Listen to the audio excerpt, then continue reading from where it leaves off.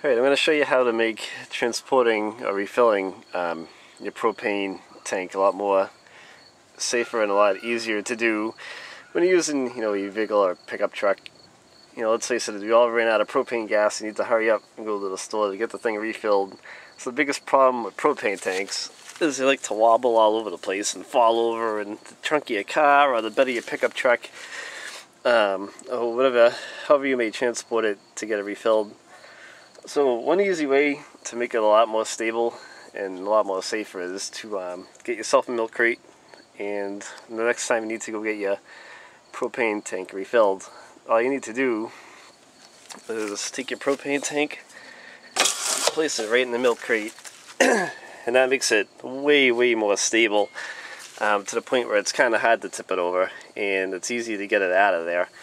and that way there you can put it in the bed of your pickup truck and bungee cord it in place. Um, there's a million holes in the egg crate so you can kind of loop a bungee cord through it pretty easily